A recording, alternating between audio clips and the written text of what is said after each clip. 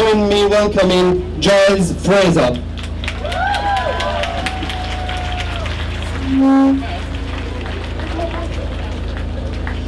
Hands up if there's anybody here, anybody at all, who thinks 20,000 is enough.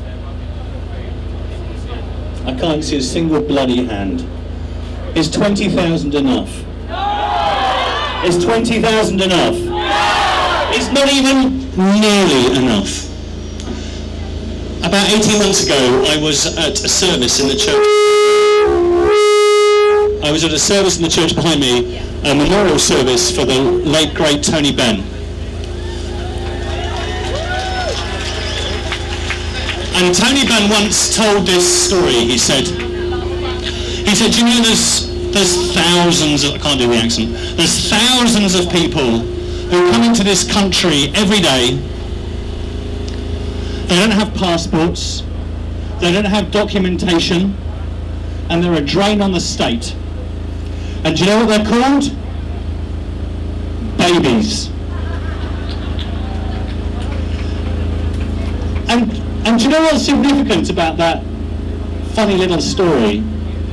Is that it reminds me of the fact that this maroon document that I have in my possession, which allows me to travel the globe and to get stamps in my passport and to come from Calais to here in about an hour and a half is not as important as our common humanity.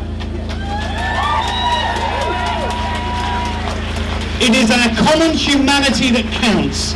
And 20,000 people is a slur on our common humanity.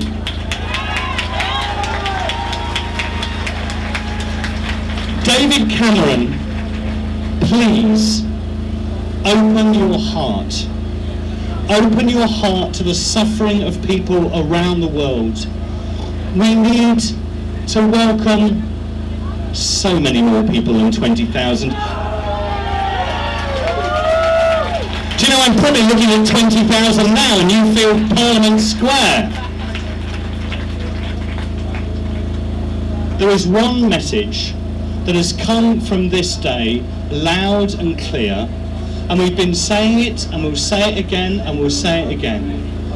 We here welcome refugees.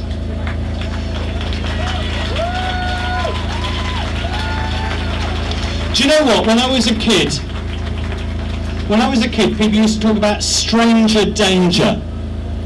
That you're frightened of strangers and that you need walls and armies to protect you.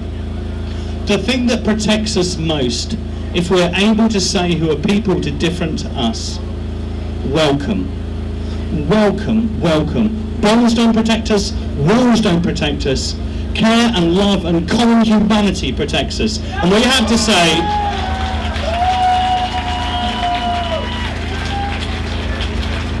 ladies and gentlemen, the message is clear. Refugees, welcome here. Thank you very much, Reverend Giles Fraser. We've had